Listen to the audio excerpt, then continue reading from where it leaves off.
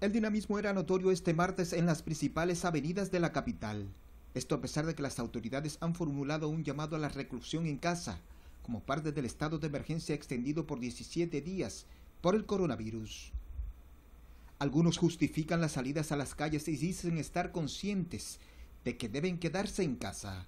Imagínate, quien no tiene quien le lleve comida a su casa tiene que salir a buscársela, porque ¿quién se la va a dar?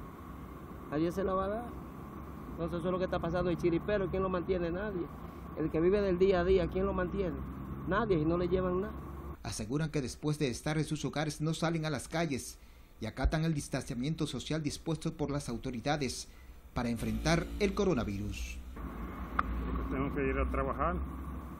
Si no estuviera en la casa guardado. Yo salgo solamente si es una necesidad. Si no me quedo en mi casa todo el tiempo aunque están conscientes de la peligrosidad del COVID-19, enfermedad que tiene de rodillas al mundo, ven como positivas las medidas adoptadas por el gobierno dominicano. Muy bien, muy bien, muy bien. Que lo sigan haciendo.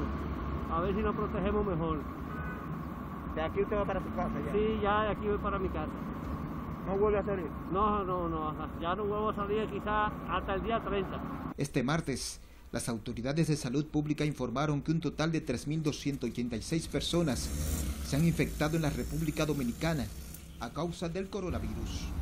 Miguel de la Rosa, RNN.